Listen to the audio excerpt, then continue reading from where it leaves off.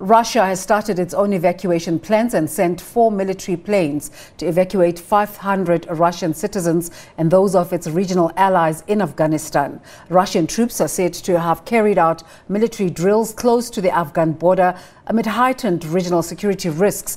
It was not clear whether the extra flights would continue past today's deadline agreed between US President Joe Biden and the Taliban for the withdrawal of the US troops. Stuart Smith is joining us now from Moscow for more. A very good morning to you, Stuart. We've been reporting uh, that the American troops uh, and the remaining citizens have left. Is this the case? Uh, have the final uh, tallies uh, been evacuated out of Afghanistan? Yes, well, from Russia's perspective, everyone that was meant to leave has by now. Those 500 citizens, not just from Russia, but also from other countries that Russia has relations with, such as Belarus, Tajikistan, Uzbekistan, making the most of those four evacuation flights. Russia able to achieve those kind of uh, those uh, safe evacuation flights because it has good relations with the Taliban. Uh, been talking with the Taliban throughout this transition of power diplomats for Russia in Kabul have uh, been in discussions with the Taliban about ensuring the safety of those flights and allowing Russian citizens in particular to get out. Now, Russia says there are still a thousand others who have the right to work in Russia, but for now they must remain in Afghanistan as they're not citizens. We're talking here about students, people with work visas, and other uh, entitlement documentation which would allow them to live in Russia. What Russia is not doing is taking anyone that has no legal right to work in in the country, such as refugees. Russia traditionally does not accept refugees, only on very, very rare occasions, and it's making no exception for Afghanistan. What are we to make of Russia's plans, uh, future plans with Afghanistan? On the one hand, it's making overtures uh, to the country in terms of uh, a, a, political and an economic relationship. On the other hand, we told of reports of uh, a Russian, the Russian army uh, forming uh, in on the border with Afghanistan. What's the actual plan going forward?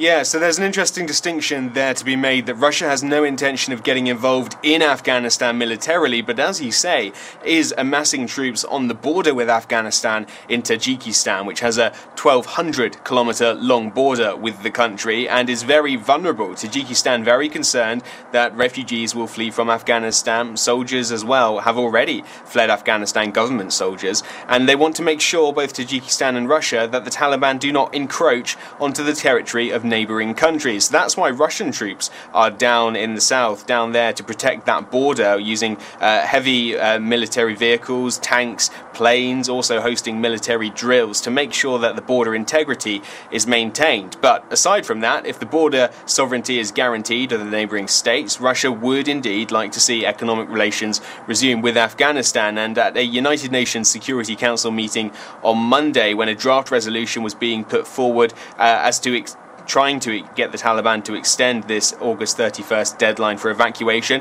Russia put forward that the United States should release funds it's withheld from Afghanistan to help boost Afghanistan's recovery and also would like to see relations with the Taliban uh, near some degree of normality, as it is now clear that the Taliban are, in effect, the power holders in Afghanistan. The Russian representative in Kabul, Zamir Kabulov, has been quoted as saying that uh, Russia is ready to help rebuild Afghanistan's economy. Do we know how the uh, Taliban has uh, received these overtures from the Russian government? Well, it was actually the Taliban who made the first move here. They were the ones that initiated a meeting with uh, Russia's ambassador in Kabul, and they were quite specific about that, what they wanted. In fact, more just a, not just simply a, a request, but an expectation. They said that big nations such as Russia would help rebuild Afghanistan. Uh, in particular, they're looking for resources to help with the healthcare system, the mining sector, and the financial sector. Now, Russia in particular can help with all three of those, with uh, good, uh, strong industries in all three. But you've got to remember at the same time, the Taliban in Russia remain a terrorist extremist organization, and that actually prevents the Russian government from officially holding talks with the Taliban to uh, negotiate relations with the Taliban, and it also prevents businesses in Russia from doing commerce with Afghanistan uh, if the Taliban were, are indeed remaining in charge. So, uh, a problem there for Russian businesses that may want to help, and whether Russia will change that designation on the Taliban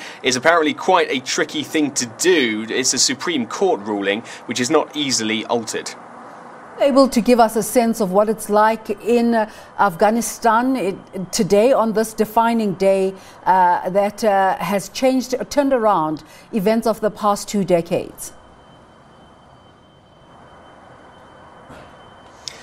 Well, indeed, it is a, monumental day, the end of 20 years of US and NATO presence in Afghanistan. For now, things seem to be under control, but as we've seen, things can change incredibly quickly in Afghanistan. There are few security forces left in the country, and with that, making uh, the situation, especially around the airport, incredibly, uh, incredibly dangerous, with just one uh, eruption of violence quickly leading to uh, any sort sort of uh, disorder. There are now few troops left, uh, and that last few flights that go away will see Afghanistan put into a very precarious situation.